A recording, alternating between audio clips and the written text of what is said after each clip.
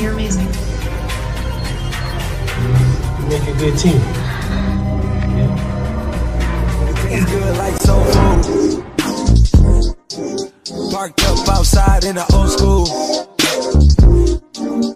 The new me back with the OU. The dog always find his way back home, and it's so true. Get home, fall through and pop one. The smoke something, drink something, pop one. Got your hand on my Glock while your ass ride shotgun. Risk it every day. I know fucking ugly niggas just not.